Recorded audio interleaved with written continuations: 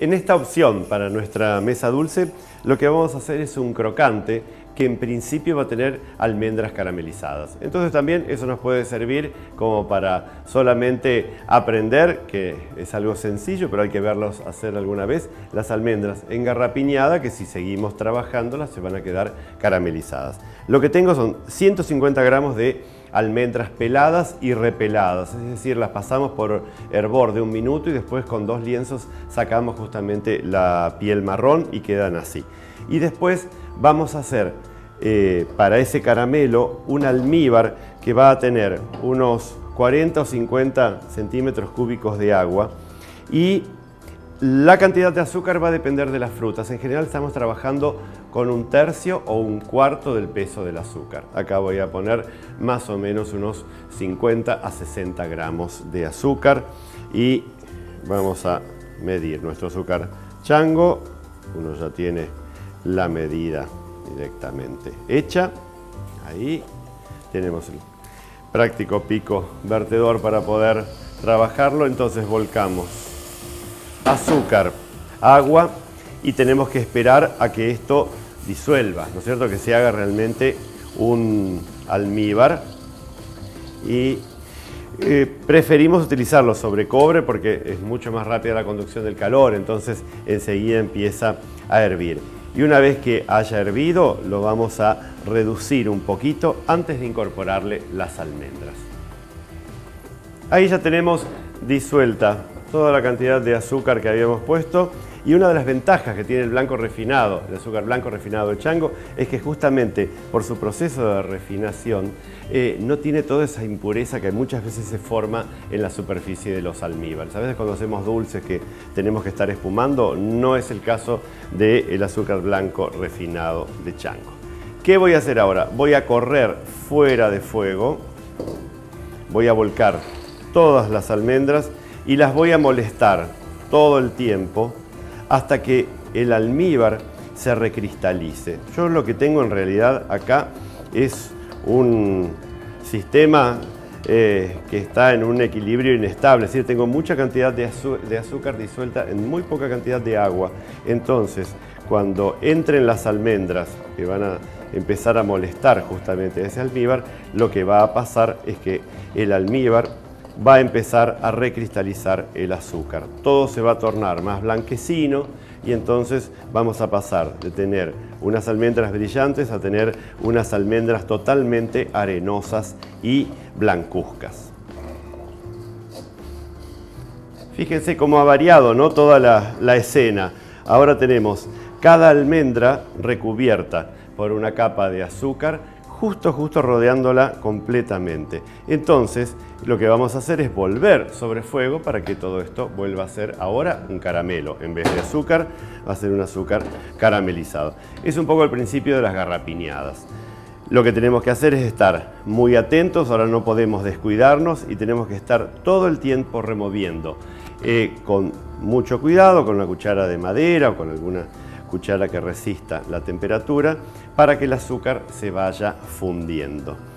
¿Y qué es lo que ocurre? A medida que el azúcar va calentando, va alcanzando mayor temperatura, la fruta se va tostando. Entonces nos van a quedar las almendras tostadas y caramelizadas.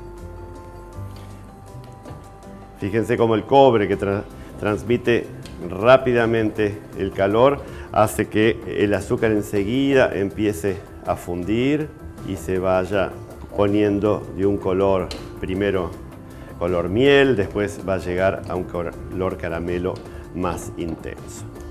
Pero no podemos dejar de remover porque si no se van a quemar. Y una vez que tenga el color deseado, lo que tengo que hacer es volcarlas, ya sea sobre el mármol enmantecado o aceitado o directamente en una placa de silicona, en una placa con eh, en manteca. Muy buen color.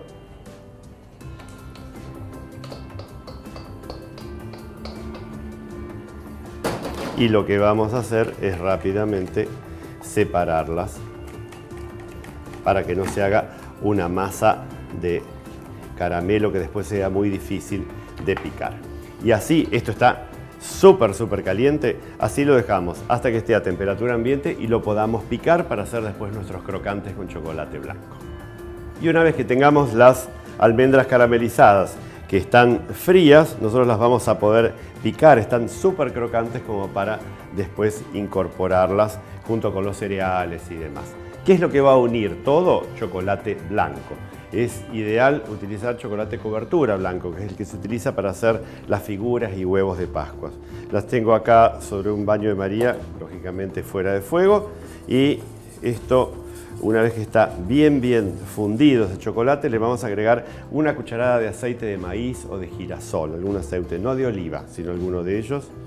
Eso va a hacer que sea más fluido y entonces después va a bañar mucho más fácil cuando yo lo quiera poner sobre las almendras y el, crocante. Entonces, y a esto para, por el tema prácticamente de las fiestas o a veces esos motivos más del rojo y el verde, le vamos a colocar colorante verde en pasta Puede ser colorante para chocolate o puede ser el, colorante para el glacé real y lo vamos a ir tiñendo y lo dejamos ahí para que el colorante vaya de a poco eh, tomando toda la, preparación.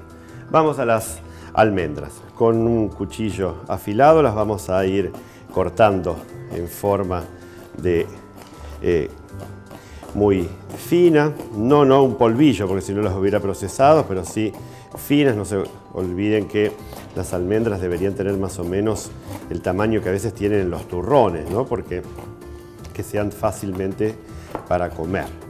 Y estas almendras también, cuando las, tienen frías, las hubiéramos podido pasar por eh, chocolate cobertura templado y después por un poco de cacao amargo y teníamos unas almendras al chocolate realmente muy buenas. Un producto que vale la pena hacerlo porque es muy simple y después los podemos mantener en recipientes herméticos hasta el momento de utilizarlos. A veces para eh, incorporar a un budín, las almendras caramelizadas tienen mucho mejor sabor porque como habíamos visto, que se van tostando a medida que las vamos eh, cocinando, entonces quedan después mucho mejor. Entonces, acá tenemos nuestras almendras. Calculen que podemos utilizar unos 200 gramos de las almendras caramelizadas, las cuales las vamos a mezclar con unos 80 a 100 de copos de cereales. Los copos de cereales tienen mucho volumen, entonces que sean 80 gramos no significa que sea poco en volumen, sino que a veces es más que las almendras. Y entonces, vamos a mezclar nuestras almendras con los copos de cereales y le vamos a agregar dos cucharadas de azúcar impalpable chango para lograr un producto con más dulzura y que a su vez esté mucho más unido después en esos crocantes que nosotros queremos lograr. Por eso, acá tenemos azúcar, azúcar impalpable, súper fina, entonces dos cucharadas van a estar bien para esta cantidad. Que después como son pequeños los crocantes realmente van a ser muchos, muchos, muchos. Y vamos a ir agregando de a poco esta mezcla de chocolate, aceite y colorante y vamos a ir mezclándolas. Al principio puede ser un batidor, pero también una cuchara de madera podría ayudarnos. Y entonces lo que tenemos que hacer es bañar todos esos copos y las almendras, que llegue a todos para que después se impermeabilice bien, porque no se olviden que esa materia grasa del chocolate, una vez que esté en el frío, después va a quedar bien dura y eso va a impermeabilizar y va a mantener crocante el resto de la preparación. Un poquitito más Nunca es exacta la cantidad de chocolate que ponemos porque depende del cereal y del cuán fino cortamos nosotros las almendras. Acá ya tenemos listo. Vamos a empezar entonces a armarlas. Acá una placa con papel manteca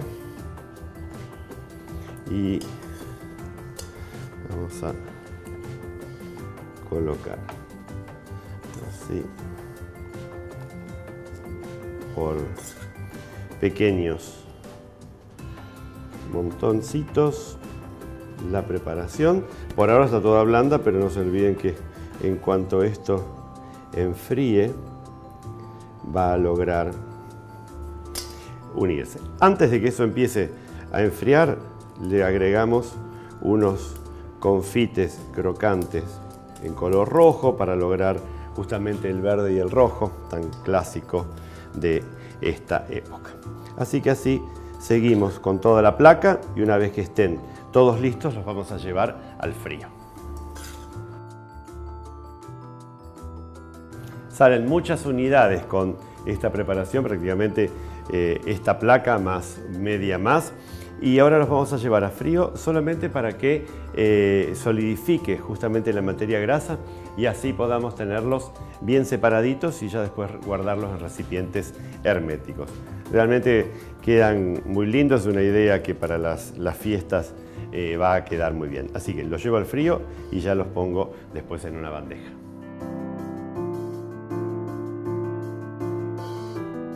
Con azúcar chango compartimos dulzura de corazón a corazón.